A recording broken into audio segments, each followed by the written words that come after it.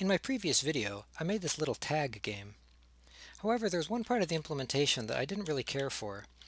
That video got pretty long, and so I didn't want to address it there, but it gives me an opportunity to do a quick follow-up. So let's take a look at the code. In my tag character, on begin play, I do a little bit of setup here with the materials and get the game mode, and then we set a timer so that five times a second we check to see if this character is currently it, um, or was the previous it, or was neither of those, and we update the color accordingly. However, we're checking five times a second for something that's happening really seldom. It only happens every couple of seconds of gameplay. So this seems inelegant at best and inefficient at worst. Let's see if there's a better way we could do this. Over in the game mode, this is where we have a custom event called tag that determines if the tag changes who is it and, and then updates the state variables it and previous it. So this is the point at which something interesting happens that it changes. So one thing we could do is have the game mode go out and search the world and keep track of all the different players uh, and set values on each of them separately. However, then we have to build a source code dependency on the character from the game mode. Mm, that doesn't seem quite right either. Now, anyone who's well versed with object-oriented programming should recognize this pattern. I have an agent here who is stateful, and when that state changes, I have other agents that want to be notified about that without having a source code dependency from the changing agent to the observing agent. The answer to that pattern is, of course, the observer. So what we can do is set up an observer like so. We'll create an event dispatcher, and I'll call it on it changed. And this will be a dispatcher that the game mode can call that will notify anybody who's watching for that event. Now, there's a couple of pieces of information we want to send along with this event. Uh, that is, who is it now and who was previously it. So with that selected, we can go over to inputs and say we have the new it, who will be a tag character, and we have the previous it, who is also a tag character. So that's enough that from here we can say call on it changed. Uh, it didn't seem to get the name of that one parameter, so let me just refresh the node. Yeah, save, refresh node.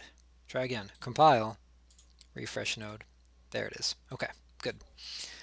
So we'll send along it, we'll send along the previous it.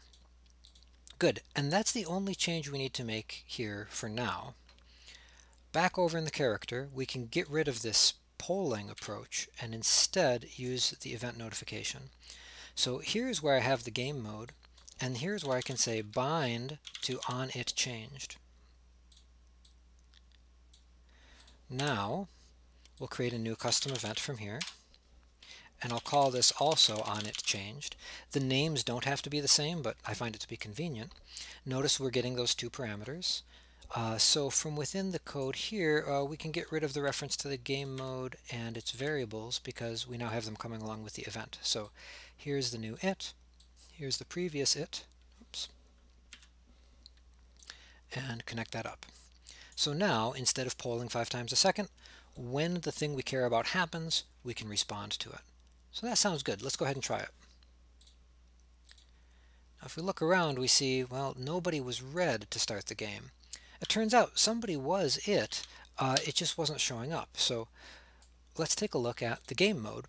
And we can see that on begin play, we're going to look at all the actors out there and set one arbitrary one to be it.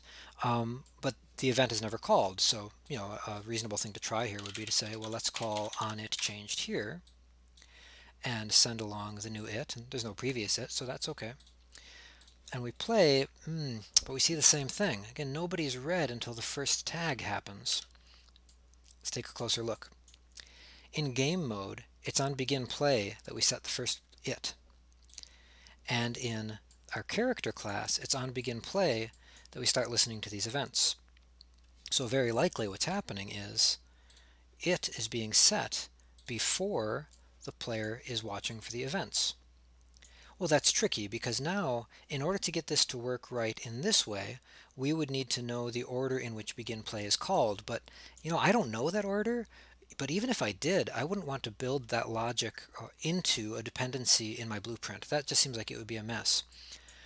for the sake of this example, I think the simplest approach is just going to be to say, let's stick in a little delay here.